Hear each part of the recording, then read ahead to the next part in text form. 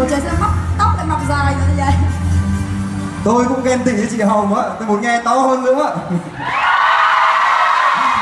Thua rồi ba đi về. Thế bây giờ là chị em mình chiếm diễn đàn luôn à, ạ. Chúng mình chiếm luôn đi sợ gì? Ừ. Dạ, từ nãy tới giờ thì chị Hồng chia sẻ rất nhiều và cũng cũng đang cảm nhận là um, anh Phan Anh vừa mới hoàn thành chuyến đi Nam Phi của mình thì bây giờ tụi em đang cảm thấy rất tò mò háo hức nên anh có thể chia sẻ ngay với chúng em và với tất cả quý vị khán giả về chuyến đi của mình đi anh.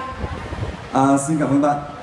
Tôi muốn nói với tất cả các bạn rằng cái chuyến đi sang Kenya để có thể sống giữa thế giới hoang dã, thế giới thiên nhiên ấy, một cách đầy trải nghiệm như vậy, đó là một chuyến đi đặc biệt nhất của cuộc đời tôi.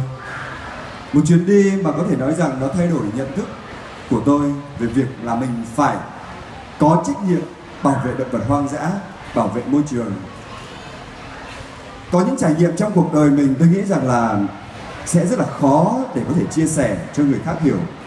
Và với các bạn là các bạn trẻ tôi chỉ mong rằng các bạn sẽ có được những trải nghiệm như vậy bằng cách là xách ba lô lên và đi không cần phải chúng ta phải lắng nghe ai, chúng ta phải theo dõi những hình ảnh như thế nào hoặc là chúng ta được khuyên răn ra sao. Nhưng mà khi mà các bạn đi, các bạn sẽ có những quyết định của chính bản thân mình. Và cũng không cần phải đi đến châu Phi, không cần phải đi đến Kenya, như Phan Anh đã có may mắn đó. Mà các bạn có thể đi đến những cánh rừng của Việt Nam của chúng ta để các bạn xem rằng chúng ta thật sự còn rừng già hay không. Các bạn cứ đặt câu hỏi, ví dụ như là chúng ta đã có sao la, nhưng đó là một loại động vật mà được ghi vào sách đỏ của thế giới và bây giờ gần như tuyệt chủng. Và vài năm nay rồi chúng ta không còn nhìn thấy cá thể sao la tại Việt Nam nữa, mà còn rất là nhiều loài khác. Tê giác của Việt Nam cũng đã bị tuyệt chủng. Và sẽ còn nhiều loài như vậy. Và với tôi á, thưa các bạn, tôi nghĩ về cái trách nhiệm của mình ấy, là một người bố. Tôi sẽ không bao giờ trả lời được con tôi rằng, mai kia, con tôi hỏi nếu bố ơi, tê giác, nó đã như thế nào? Tê giác, làm sao để con có thể gặp được con tê giác ở trong thực tế? Nếu như chúng ta cứ tiếp tục như vậy, chúng ta không có lên tiếng của mình, chúng ta để những con tê giác vẫn tiếp tục bị giết hại như vậy, và còn rất là nhiều loài khác nữa, thì chắc chắn đấy là một tội lỗi vô cùng lớn của chính tôi chứ không phải ai khác nữa.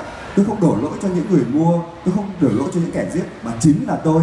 Là một fan anh, là một ông bố đã không nói lên cái tiếng nói của mình, đã không có những hành động quyết liệt để con mình một ngày nào đó có thể không nhìn thấy những cá thể động vật hoang dã ở trong thế giới tự nhiên nữa. Và tôi chắc chắn tôi cam kết sẽ hành động hết sức mình là hành động quyết liệt để có thể bảo vệ được động vật hoang dã cùng với tất cả các bạn. À, câu hỏi tiếp theo là lúc nãy trên màn hình hiện rõ rất là rõ cái hình của anh khi mái tóc còn rất là đẹp. Và được biết rằng là công việc gọi là MC quốc dân như anh đó thì mái tóc rất, rất là quan trọng vậy thì động lực nào và lý do làm sao mà có quyết định để chúng ta xuống mái tóc của mình như vậy? Xin mời anh ạ. Nói các bạn ạ. Thực ra thì như thế này ạ. Cái việc đầu tiên mà khiến cho Phan Anh là lúc đó ở Thanh xuống tóc ấy nó chưa hẳn là những cái thông điệp mà mọi người hay nghĩ đâu ạ. nó quan trọng nhất đối với Phan Anh ấy là từ nhỏ đến lớn giờ là Phan chưa có lần nào Phan cạo đầu hết cả. Phan Anh cũng hiểu. Giống như bạn nói thì Phan Anh cũng nghĩ rằng là mình mà cạo đầu thì xấu trai lắm. Và đặc biệt là một người lúc nào cũng bóng bẩy mượt mà trên sân khấu như Phan Anh ấy thì Phan Anh không muốn một cái hình ảnh của mình như thế. Nhưng mà Phan Anh quyết định Phan Anh làm. Làm để làm gì ạ? Để nhắc nhở chính bản thân mình. Phan Anh đã nói là đấy là một hành trình mà Phan Anh thay đổi nhận thức toàn bộ nhận thức của mình trong cái việc là bảo vệ động vật hoang dã. Thì Phan Anh phải nhắc có một cái điều gì đó để nhắc nhở chính bản thân mình trong khoảnh khắc đó. Và cái việc cạo đầu á, đầu tiên là cho chính bản thân mình nhưng mà ở đây ấy, nó có một cái ý nghĩa. Đó là chúng ta thấy rằng là sừng tê giác có cấu tạo như móng tay như tóc của chúng ta như sừng trâu.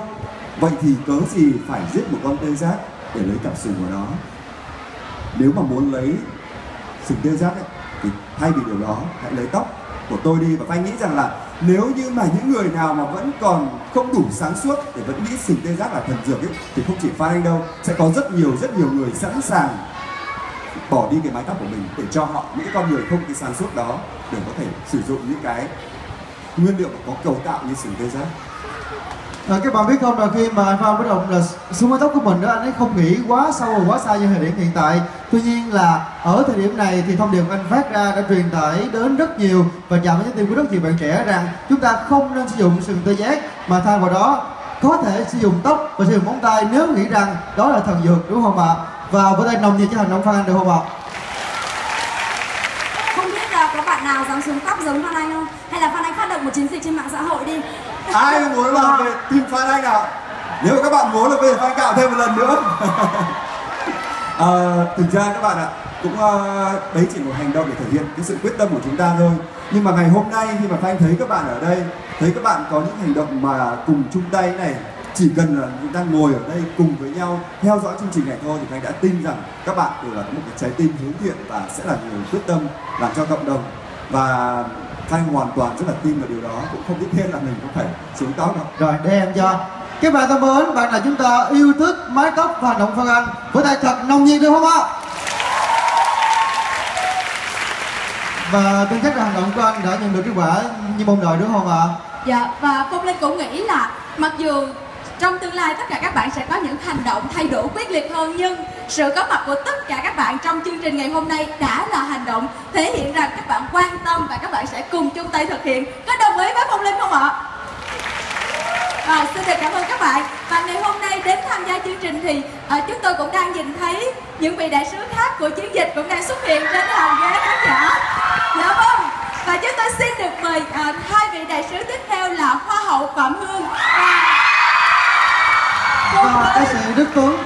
Cùng và ca với